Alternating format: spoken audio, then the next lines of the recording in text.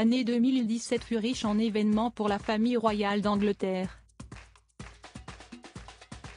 Fiançailles, première fois, bébé.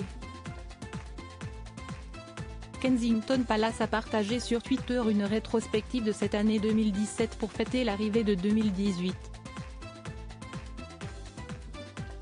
Découvrez-la. Personne n'est oublié dans cette vidéo. En juillet dernier, la princesse Charlotte a réalisé sa première révérence à Berlin. Vêtue d'une belle robe bleue la petite fille était à croquer. En septembre, le prince George a lui, fait ses premiers pas à l'école et tout s'est très bien passé.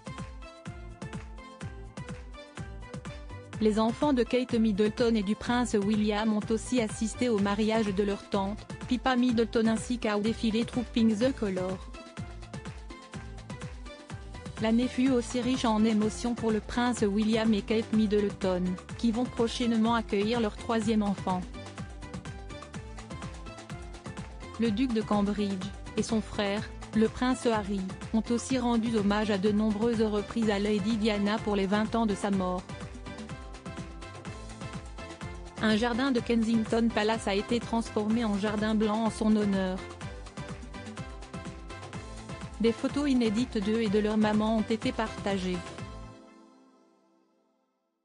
Le prince William a effectué son dernier vol en hélicoptère pour la East Anglian Air Ambulance, un organisme de secours aérien.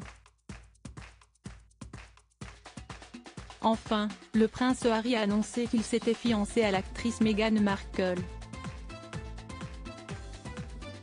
Les deux tourtereaux se diront oui pour la vie en mai prochain.